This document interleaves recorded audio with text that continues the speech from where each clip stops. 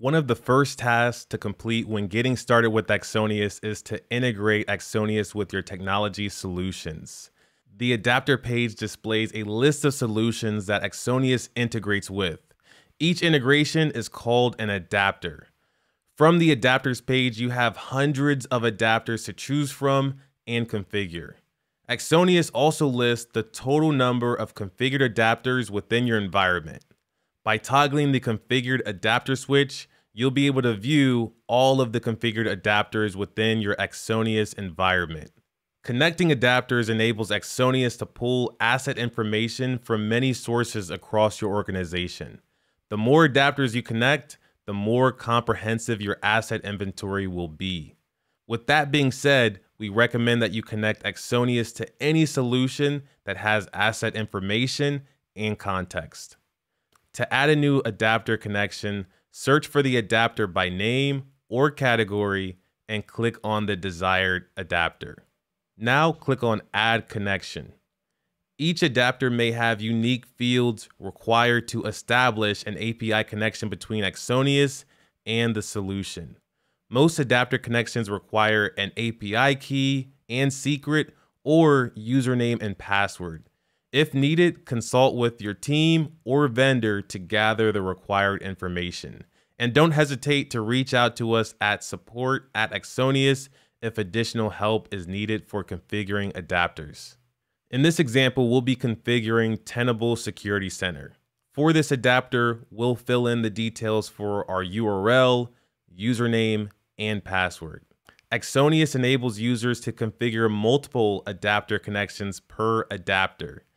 This is great if your organization has multiple instances of a single solution.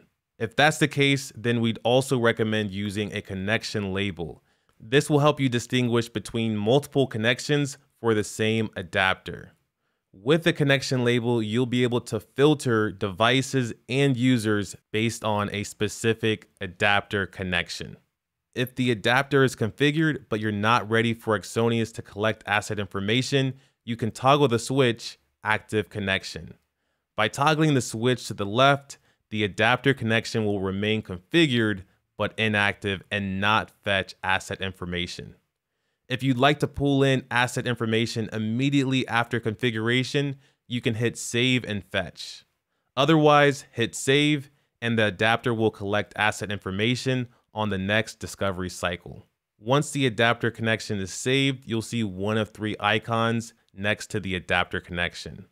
A green check indicates a successful and active connection, a red X indicates an unsuccessful connection, and a gray pause symbol indicates an inactive connection. Later in this video, we'll review how to retrieve more details from each adapter connection. With adapters, users have the ability to configure advanced settings. By clicking on Advanced Settings, users will first be presented the Adapter Configuration tab.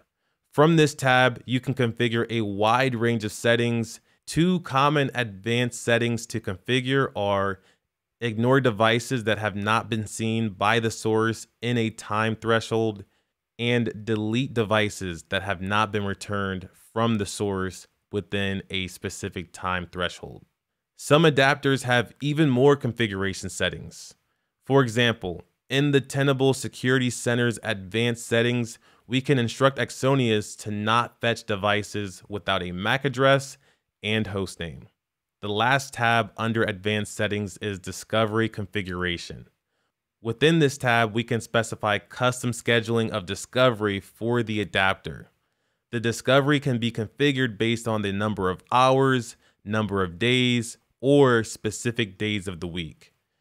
In this tab, you can also specify a single time or multiple times of the day at which the adapter should discover new assets.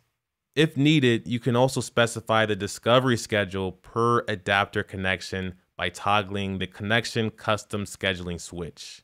By default, Axonius adapters will retrieve asset information every 12 hours unless specifically configured in the advanced settings for the adapter or in the global settings within Axonius. When viewing the adapters page or by selecting a single adapter, you can also pivot into the adapters connections page and adapter's fetch history page. Let's begin with adapter connections. When browsing to this page from our selected adapter, we can see that Tenable Security Center is added as a search filter. From here, we can see that all of the adapter connections for Tenable Security Center are displayed along with connection status, discovery schedule, and other configurations.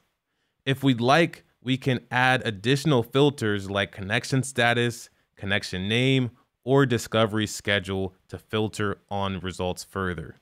We can also display all connections by clicking reset next to the filters.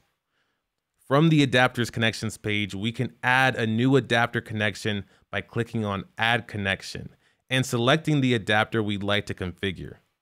Within this page, you can also select a single or multiple adapter connections and select actions to fetch asset information outside of the discovery schedule. Within the actions option, you also have the ability to delete a single or multiple adapter connections. By browsing back to the adapters page, we can also choose to observe details on each fetch performed by our adapters by browsing to the adapters fetch history page.